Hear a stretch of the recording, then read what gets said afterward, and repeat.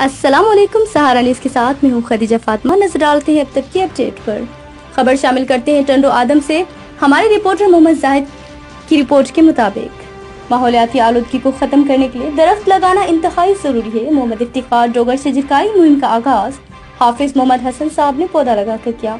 टंडो आदम में माहौलियाती आलूदगी को खत्म कराने के लिए मोहम्मद इफ्तार डोगर साहिब ने शजरकारी मुहिम का आगाज़। मोहम्मद हाफिज हसन साहब के हाथ से पौधा लगवा कर करवाया। इस मौके पर मौजूद पाकिस्तान मीडिया एसोसिएशन सिंध के ऑर्गेनाइजर मोहम्मद अजमर राजपूत टंडो आदम पीएमए के नायब सदर, मोहम्मद जाहिद गोदर, साहिब ठेकेदार शौकत अली अब्बासी, साहिब मोहम्मद इमरान और दीगर लोगों ने अपने हाथों से पौधे लगाए।